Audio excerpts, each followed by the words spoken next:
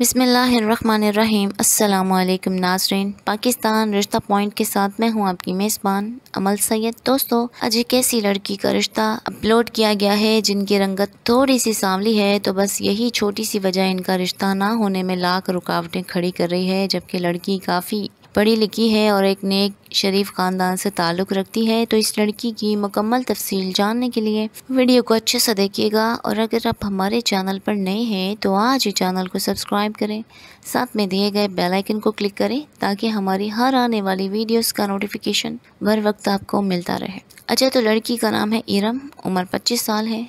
रहाइश के बारे में आपको बताते चलूँ तो किला अब्दुल्ला की रहने वाली हैं। अच्छे खाते पीते घराने से इनका ताल्लुक है और काफ़ी ज़्यादा एजुकेटेड है। केमिस्ट्री में इन्होंने मास्टर्स किया हुआ है और अब आप ये सोच रहे होंगे कि लड़की इतनी पढ़ी लिखी है, अच्छे घराने से ताल्लुक़ रखती है तो फिर रिश्ता ना होने का तो जवाज़ ही पैदा नहीं होता। तो नाजरीन, मैं ये आपकी गलत फहमी दूर कर दूँ। आजकल के दौर में सिर्फ़ तालीम ही नहीं देखी जाती, बल्कि और भी बहुत कुछ देखा जाता है और सबसे बढ़कर लड़की की खूबसूरती।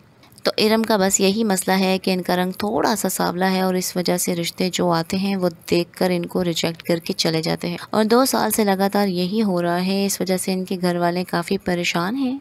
तो अब मैं अपने तमाम लिसनर से यही कहना चाहूँगी कि अगर आप में से कोई भी लड़का इस लड़की से शादी करने के लिए तैयार है तो अम्मी वीडियो के नीचे कमेंट बॉक्स में आकर अपना नंबर डिटेल के साथ मेंशन करते शुक्रिया।